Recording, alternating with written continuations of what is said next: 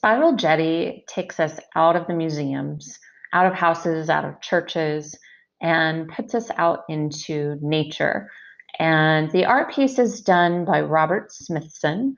And the era we're putting this in basically is earthworks art, um, the time period in like early 1970s that this was done.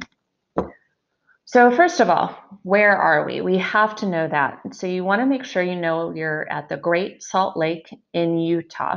And it is out there. I mean, if you want to go see the spiral jetty, you really have to be determined and to drive out in the middle of nowhere to see it. And the Great Salt Lake is exactly that. It is a lake nothing really feeds into. It, it's high salt content, content, high mineral content. So you're not getting much to grow here, just some algae, um, some fish, maybe. But otherwise, there is nothing much growing. And algae, when it is at a certain level, it's going to make the water look uh, a little bit red. So supposedly, Roberts um, was Robert Smithson was driving by this site, and uh, the area in Utah here was a site of mining and he saw some abandoned mining equipment and just thought about the power of nature to kind of not defeat man, but kind of like nature will always win out. Uh, and so he, you know, he saw basically abandoned mining equipment, broken tools, and he thought about that and decided to create an art piece that shows really the power of nature, the ever changing capacity of nature, the, the way things change over time. And I think this time period in the early 1970s was very much focused on the environment. 1970 was the year that you had the first Earth Day, which we typically celebrate in April. Also in the 70s, you have the establishment of the EPA or the Environmental Protection Agency. So clearly there was focus on the environment and you know, our impact on the environment, which is a discussion that definitely continues to this day. So that's something very important to know. Um, some say that he chose a spiral because there was a uh, a story associated with the Great Salt Lake that there was a whirlpool, like a spiral, if you can imagine like a whirlpool, like spiraling shape that connected this to the Pacific Ocean. Uh, that could be kind of a fantastical story that's that he heard and then decided to do a spiral. What's interesting is a spiral is like a basic uh, shape of the, if you look at salt crystals in a microscope, you would see a spiral shape, which is interesting then to have this spiral uh, because the lake is full of salt. And you see spiral shapes throughout nature, plants, uh, mollusks like snails and their shells. It is a common uh, type of shape to see in nature. So he uses the materials of the environment. We're not going to make an environmental piece and truck in different materials from other places.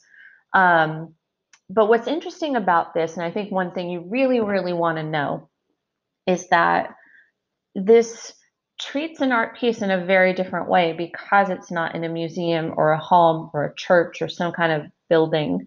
It's a piece that no one can really sell, buy, possess you know and so the only way really you can experience this is to go to it directly or to experience it through photographs kind of like we are now um, videos things of that nature. And those things those photos and videos can sell for money but one can't profit off of just the spiral jetty as a, an object and so that's an interesting um, thing to think about. And also that this is an art piece that is meant to change over time. And I think honestly, the artist knew that at some point this piece would just disappear over a long period of time. So it's unlike most art pieces, this is a, a piece that is constantly changing and fluxing and and responding to water levels, salt levels, uh, algae levels. And so sometimes you could come here and not see anything if the water levels were high enough. Other times you'd come and there wouldn't be any water. The water would be, the tide would be way out, and you could actually walk out here and it'd be perfectly dry sand. So it's constant in change and flux, and that's what makes it very interesting too, and suggests the power of nature and the constant evolution of nature. So I've kind of talked and addressed some of these things in content as well. Um, you know, the, the power of nature here, just knowing the, for content, just knowing the shape and what that kind of symbolizes and reflects. You know, common symbol in nature uh, can be traced down to a compound or a, the basic component of salt. Know here that the art piece constantly changes based on nature. Again, the water levels, algae levels, salt levels. And so the white you see around the rim of the, you know, the perimeter of the spiral, that's actually salt deposits. And then just kind of like the oxbow, thinking about the sublime, the power of nature. It's a similar notion here, but instead of depicting it in a romantic painting of a landscape, you're actually depicting that here in nature itself. And I know some people comment if they walk out on the piece or around it that they feel like because it's slowly disassembling and coming apart, that it can remind you of the passage of time, the power of nature, and the inevitable change in everything. So I like that about this piece. Uh, I think it's kind of a it's a powerful message about nature, about life, and about you know trying to control something. Um, I think it's a, a multi-layered art piece with its meaning. So for function here and formal quality, I think function, uh, social commentary in terms of environmental issues, I think it can definitely be related to that. Uh, and for I hope I said function with that. Function then again, social commentary. And then formal quality, definitely the shape, the spiral, and that connecting to so many different things in nature.